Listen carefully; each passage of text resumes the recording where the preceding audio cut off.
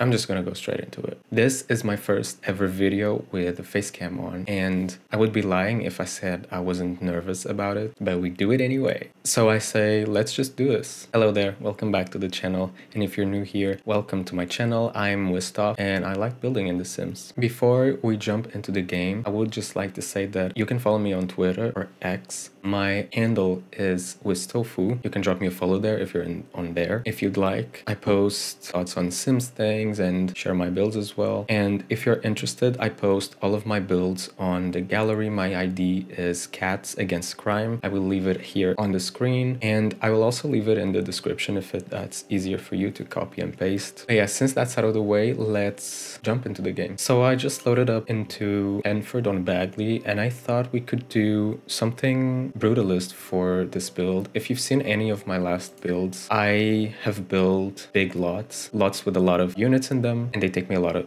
a lot of time to do. So I thought that today we could do something simpler and by that I mean that I want to do a regular build. So nothing multi-level or anything like that. And I want to do something brutalist in this world because this world is so lush and so green. And I kind of want to go with the idea that maybe it's an abandoned lot that didn't make into construction fully and then someone acquired it and maybe built on it and then made it into this modern contemporary home. So so that's the idea I had. We can try it out. This slot looks not too big and not too small. Let's build those. And first things first, this is the front side of the lot. I was thinking of maybe doing an L shape, but I don't want to make it too big.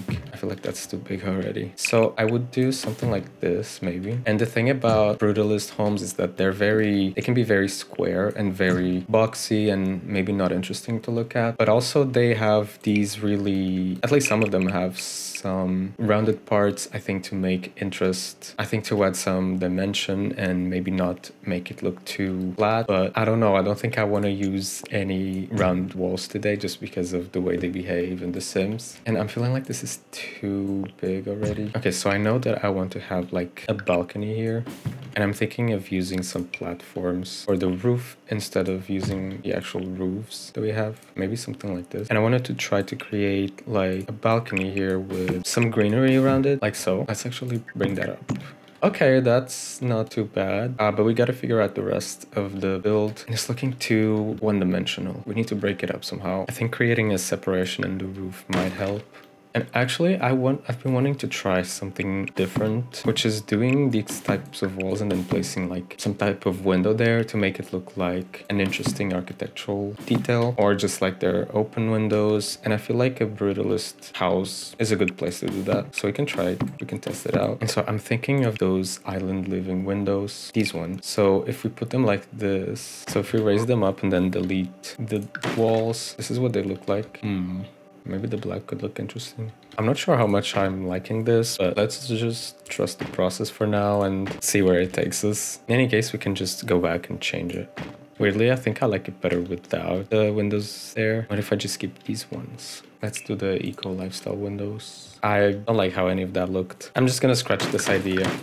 However, still think we need to create some interest by maybe breaking this up under. Let's try adding some balconies on the side. I like doing these little boxes in modern builds just because they look, well, very modern. They make it not so flat. You just make a room, a one by three, and then you plop a window. And you kind of get some privacy. Actually, if we swap for this, we have a clear window. Yeah, that looks good. So in terms of dimension, maybe we can use these windows from the Desert Luxe pack. And I think I would actually bring this one inwards, the bottom floor. Now I'm thinking this needs to be aligned. I think that looks all right. We need to fill in this, these gaps. Yeah, that looks okay. A lot of the process of building is just trial and error. And it's more error than actually getting things right, at least for me. Because I'm always trying to do something different or something out there and doesn't always work out. That's okay. We learn along the way. That's what matters. Should we put, put this on a platform? I feel like this is the ideal or the max height I usually go for for modern builds. For the front door, I think it would make more sense to put it on the side just because I want to use glass and it would make it probably better. No, I think maybe this one would look better. Yeah. And up here, I want this to be the balcony to the main bedroom so we can place another big door here. This one, yes. That is slowly coming together. Maybe we can repeat or try something similar here. The idea we had there on the other side. I mean, I think it works so far. I think it's fine for now. I don't think I want to repeat these angled windows on this side. I think it would be best to have an outdoor area in the back that you can use maybe with a pool because this is a big lot. I'm just now realizing. I can use these open ones, maybe just one of them. This one is better. Maybe we can repeat these windows here. Oh, we can always add maybe one window at the end of this. Let's try to think of this floor plan real quick. So the bottom floor, I want it to be open space, but I still want it to have some structure. So you have the entrance here and maybe we can put bathroom right by the entrance. Then we can do kitchen and dining here. Over here we can do some sort of living room. Let's just paint that green real quick and add some bushes there. Okay, this is where I miss the tool mod because I just copy objects at a certain height. But I want to be able to make a build without mods. Like it's important to play the game as it is sometimes. I say this while I'm using debug items, but that's fine. Actually, I like how this turned out here. And I feel like I want to repeat that throughout the build. I'm not filling these, so let's just replace them with sliding door here. I think this will work. Yeah, that's all right. It looks more structured. I want to do probably a long window. Let's try to go for this one. Yeah, that looks fine. And I think I want to use the stairs here to separate one space from the other. And we can also see what it looks like on the upstairs. So if we did maybe something like this, can even squish maybe a laundry in here. And I'm thinking that we probably want to add some windows here since this is going to be the dining area. Maybe two of those or one, we'll see. Then we know that we want this to be the main bedroom.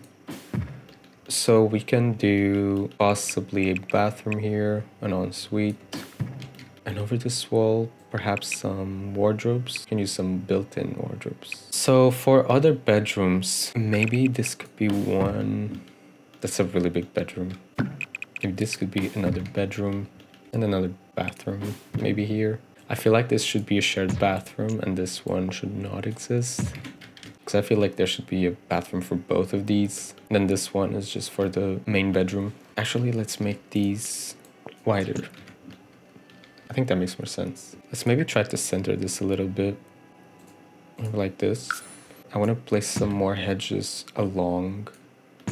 So maybe let's try that right here. And it probably can go out the back as well. I'm placing them like this first and raising the platform later just because if I raise the platform right now, I cannot place them on a height for some reason. So just to save some time, I'm gonna do it like this. Now let's raise it up twice. There we go. Copy the trim. Beautiful. Maybe this should go out the front a little bit. Yeah, I like that better. I'm thinking this still needs some dimension on this part, so I'm actually gonna do one of these here and down here. Maybe we can do turn this into another space with a hedge. Like so. So I think we stick to the original plan so kitchen, dining, living, laundry, and then we can do bathroom here. This would be a really big bathroom. We can have maybe a sunken shower area. It's gonna be fine. I think our floor plan is figured out by now. So maybe let's figure out the outside or the rest of it. I feel like we could sneak in a little window. Let's keep that for now and see how we feel about it later. I'm just gonna switch the wardrobe placement to this wall here. So we have this free wall to put the bed and the bedside tables. Maybe we should do a clear fencing for this balcony here. That's better. I feel like I want to extend this to this area too. Wait, what happened to these stairs? Um,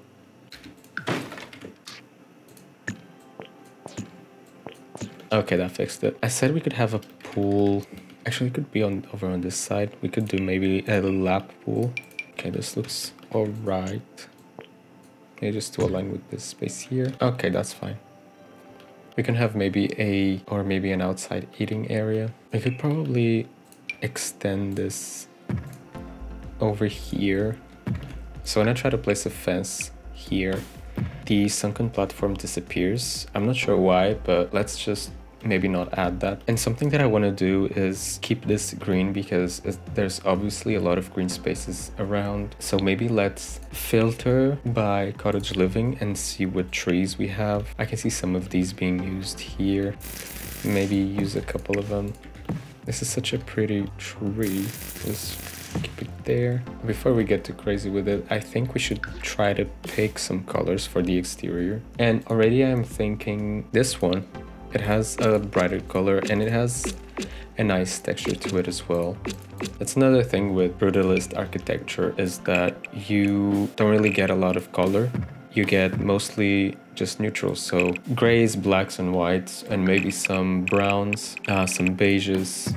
So it's not very colorful. That's why you need to add or at least I think you need to add interest with textures and shapes and dimension and try to create this thing that looks interesting and still isn't just a box, even though it is. I'm thinking now that this should come out more just to frame these windows better. Yeah, I think I like that. Okay, let's see some flooring for the outside. We should get maybe just the Desert Luxe ones. I think, yeah, they're pretty pretty brutalist. I don't know if anybody else agrees, but I think we need some more modern foundations in the game. Could we do our sunken lounge here instead because this seems like a good spot for it. We have all this space. Let's maybe bring it down a little bit more.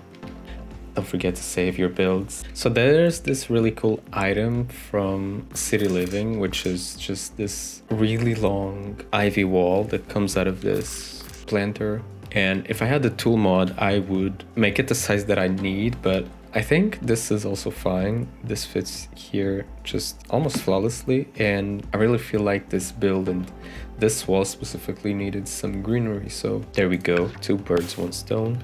Maybe we can do the same in the back. Yeah, I feel like that added some more dimension. We can place another object there later. Also, what is that?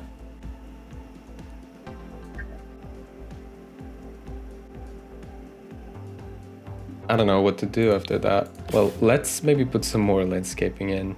I'm gonna use these same hedges around the place just to have some sort of continuity. I miss the tool mod. You know, I was thinking it would be so good to be able to paint the foundation, just like we do with the platforms. Like if we can, if we could paint with any of the wall paints that we already have in the game, that would be pretty pretty sick because I would make these two the same texture, the same wall paint, so they looked better or more seamless. Not just that, but also I know we can paint ceilings now, but the inside of the roofs, I also would like to paint that because it's easier to, to just show. So you see how this texture has texture here, but it's white on the under part and then for instance, if we place this one, it doesn't anymore because it's a different texture and probably the look that they were going for. However, I feel like we should be able to choose or paint or not depending on what we wanted to do and not on the texture itself. But that's just one request among the hundreds I would probably have. It's good to dream sometimes. But I was thinking we can maybe use these in our conversation but We can frame them with this maybe. Let's use these from seasons. One thing we can do is turn some of these into planters. So if we bring some greenery in, it doesn't look so bland. Okay, food for thought. I think maybe this one makes the most sense to put up here. I still feel like they're so far away. Okay, let's leave that for now and come back later and see how we feel about it. That's one thing I like about making speed builds is I can do something and then come back the next day or two days later and see what I'm liking or not. Whilst if I'm doing everything at, in one go, then it's harder for me to decide what's what's working, what isn't. So for the flooring, Brutalist homes usually have these concrete floors, which I'm not mad about. Let's Again, trust the process because it worked fine last time. Let's bring in the same wallpaper and everything. Oh yeah, that's looking pretty brutalist right here. I feel like we have to close this section off just because I don't like the way that the wall looks next to the stair wall. Maybe it's better if we just put some spandrels, some old looking ones to give this idea that it was an old build. But I want to add these columns from Eco Lifestyle just to frame them. Let's start on the kitchen. I think these from the new, well, they're not exactly new, but from the Chef Hustle stuff pack look pretty good. I like the texture that these have. Scratch that. Let's try an all black look. Okay, that looks better. I will never get over the fact that we got these cabinets that go so seamless with the fridge. Chef's kiss. Let's just call it the base of the kitchen and change it now. So I like the idea of having the stove top in the kitchen counter and then the sink right in front of the window. We should do shelves on this side. I think maybe we can try lighter cabinets. I'm actually not sure about this. Actually, should we frame both of these with this? I think it would look more intentional. I said I wanted to brighten it up and it's looking way darker than what I had anticipated. But I think we just need to fully embrace this black kitchen moment. Maybe some industrial lights will help with it. And I think we can add some stools at the end of these islands. These ones look good. I think they work okay. I like what we did with the outside, so maybe we can try to make something similar to get that warmth still. And as for the chairs, we could probably use these. Maybe let's align the window with it. Let's do these ones from growing together. For curtains, I want to use the Desert Luxe curtains. We already have so much of this kit anyway in this build, so let's just continue to use it. I feel like textile is a really good way to bring warmth. Now that I'm looking at it, I'm kind of liking this darker shade. Maybe let's do a mix and match like this. Okay, that seems like it's balanced. I like these chairs a lot from the Desert Luxe kit. We can use them and we can probably use this one as our coffee table. I'm not sure which side the, the door opens to, but I think it opens here. We also don't want to uh, obstruct this passageway here. So we probably want to have these two over here, coffee table here. We would have our couch over on this side and probably the Desert Luxe couch because it's just so good. And that means that we get this passageway free. So we should put the door to the bathroom over here. But now I'm not so sure about this one. So these chairs, I think we can do something like this. Or what I would really like is some of those fireplaces that have this hood coming out of them like this. I actually like that, but I think this needs to be larger. Yeah. Also, really big homes have these tables on the back, against the back of the couches. Maybe we do this one here to kind of hide the separation between the wall and the stairs. This table is also pretty brutalist. Maybe we replace these, put this one over here. Another thing that I really like is the lamp, this one. And I think it looks so good as a modern piece. It's such a rich people house type of lamp. A square rug would be good for this space. I kind of like the swatch because it adds a bit of softness and it ties in a little bit with the warm whites and beiges that we have going on. I think this one from Industrial Loft, it has some good swatches and I like the fact that it has two levels. So we could use that.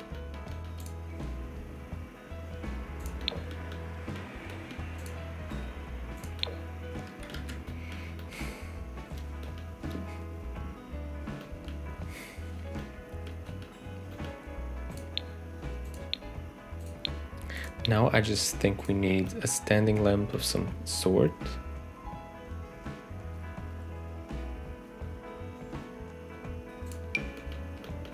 This one looks like it fits the space. Let's get the TV as well. Since we don't have the tool mod, we need to break those walls so it doesn't clip to them. Now let's raise this to a good height. And now we build those walls back still have a little bit of space here and maybe we can do an additional sitting area, maybe two chairs facing each other. We could do maybe just a reading space. So should we just spread the two of them?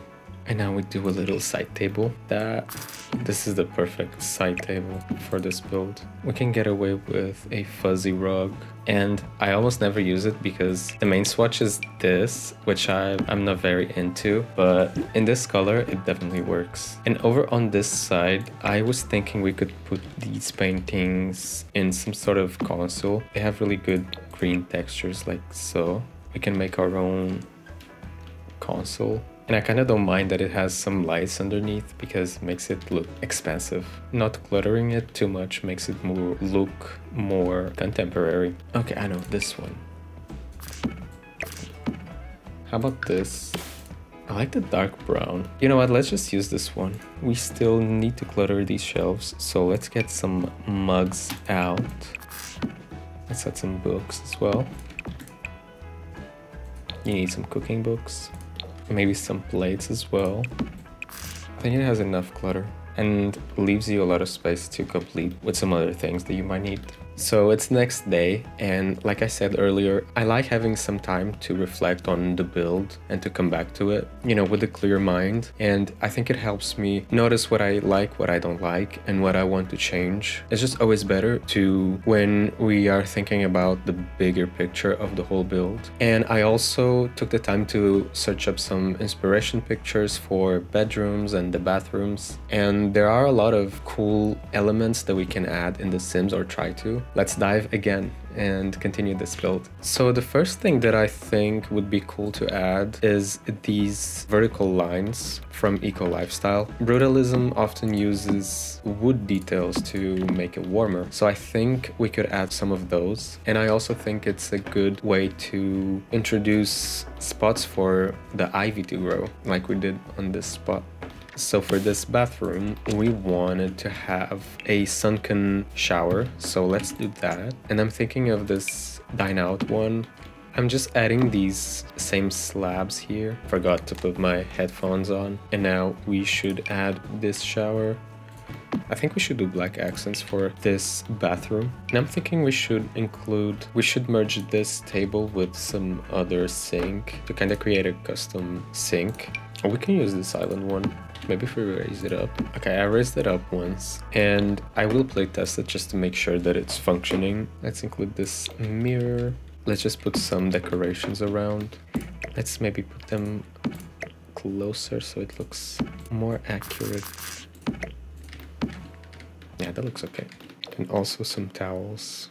I go for this one a lot because it's so simple and good and it looks good in a lot of the swatches and in a lot of homes back on the bedrooms. This main one, I think we should put the bed on a platform. So there's a trick to make bed seem like it's sunken in the platform. If I remember correctly, all you need to do is push this one back and place the bed where you want it to be. And then if you do this again, it will push the bed back and you cannot place it under. So what we do is you can place it like this and then you can grab the platform tool and just make the platform like this.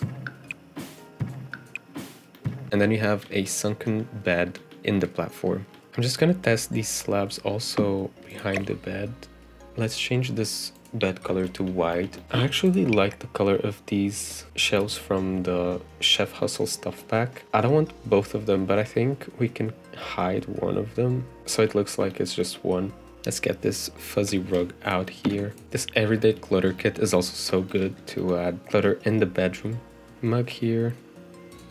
Maybe instead of this light, we should have sconces. I think these are modern enough to go here if we add it in the black. I'm not sure about the black here. Now I'm thinking we should have this just on like a third of the wall. Maybe it should be centered on the bed. Okay, I think this this is more balanced. It was too busy before. This one has a very unique design to it, and I barely use it, so let's add that here. So I just changed a few colors and I think this looks more believable to me. I think the black, white and gray is working better and we can add some wood details to a different bedroom. And I think I want to add a tall light behind it. And let's do black, grabbing the same curtains we already have around. Let's do black to match everything.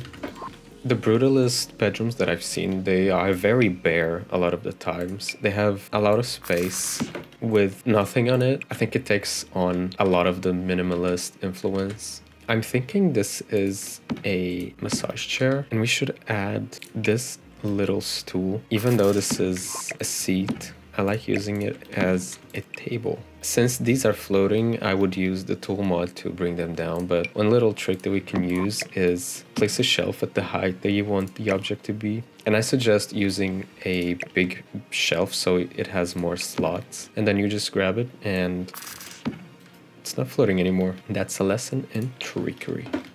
I'm thinking this is a kid's bedroom. We could make it a little bit warmer. We should paint the ceiling with some wood. Don't worry, I have a vision. And if it doesn't work out, then it's fine. And it's really odd to think about a kid's bedroom in a brutalist home because uh, to me that's a very crude style and I cannot fathom the two of them together. It's such a weird concept to me. And I feel like we should do wood on this wall as well. I actually like this tiny living bed. So let's try to use it. This blush pink is really pretty. Let's add this painting over on this wall. I think we can get away with some more stuff from Tiny Living to tie everything together and probably make this the most or the coziest bedroom in the whole house. Even though we still we still have one bedroom to go. Let's this one. And I think this green would go well together with this blush pink that we already have. Honestly, Tiny Living is... I'm really liking the Tiny Living in this bedroom. And I think this cozy rug in these brutalist bedrooms make total sense. And I think I want to keep that there. Let's add this big light here. And then I just want to add a few things for a kid, like some... Like maybe a teddy bear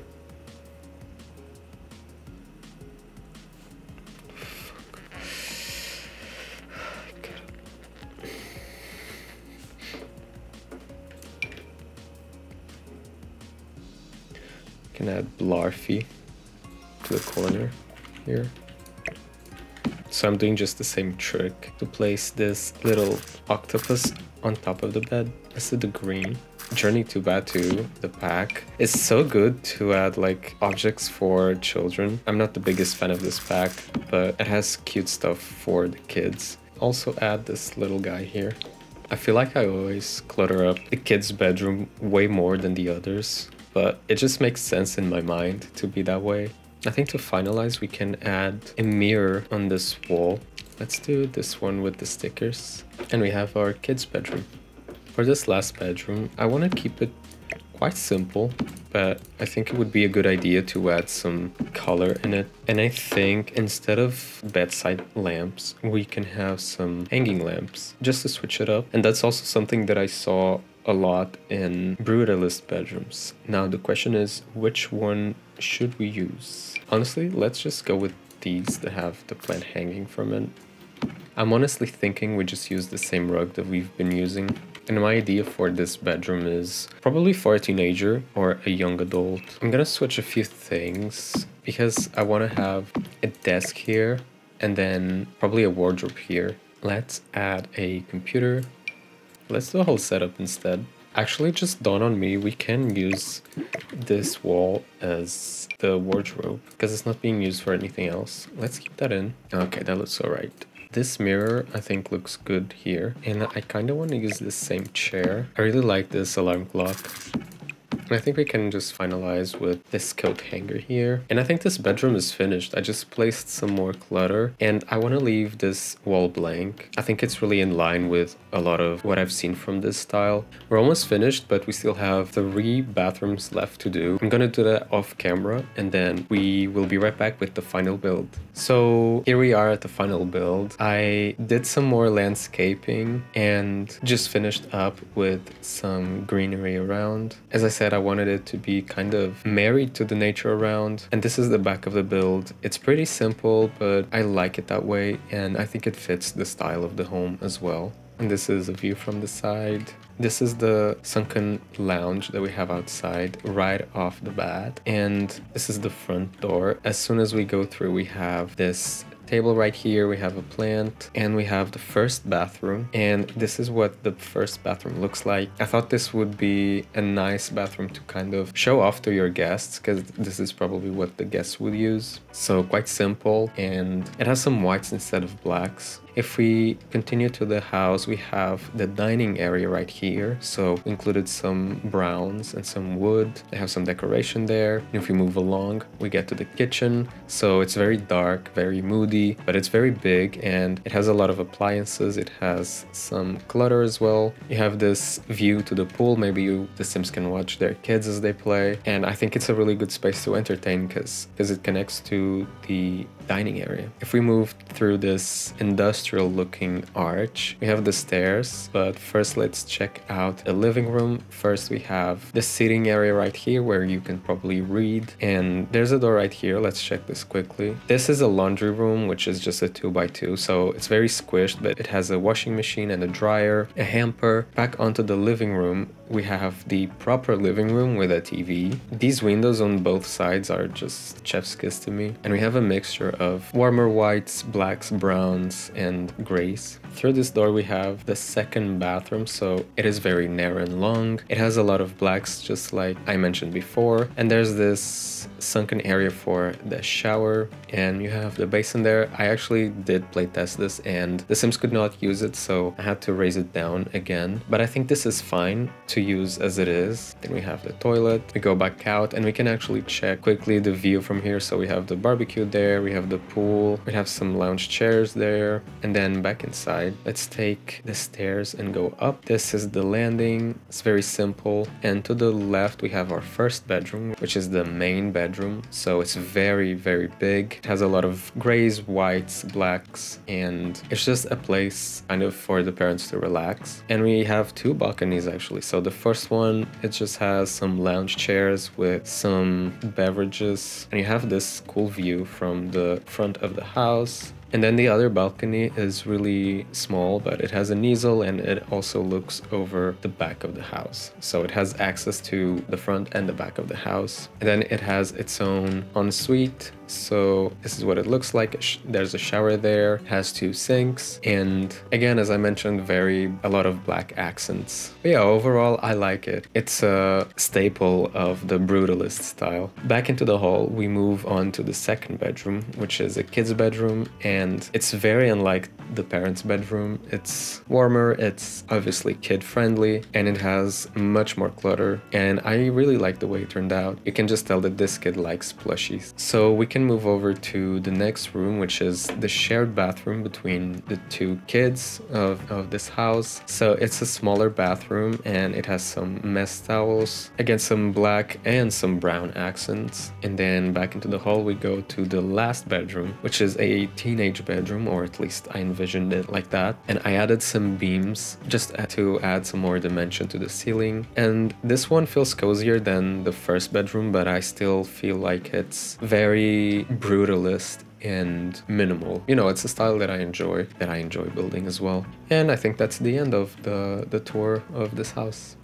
So this brings us to the end of the video and I hope that you liked it. Let me know what you thought of this type of video where I do this face cam and we build in real time. I personally like filming it like this and I think it's more interesting for me and I hope it is to you as well. So any feedback that you have on this, I will be very thankful. If you like this house, I will put it up on the gallery. Again, my ID is Cats Against Crime. It's on the description. If you have any ideas, please let me know. I am always on the lookout for new things to build in The Sims. Any comments that you leave are all very, very appreciated, especially since I'm still trying to figure out what the style of the channel is in terms of aesthetics. And again, I hope you enjoyed it and I will see you in the next one. Thank you so much for watching. Bye bye.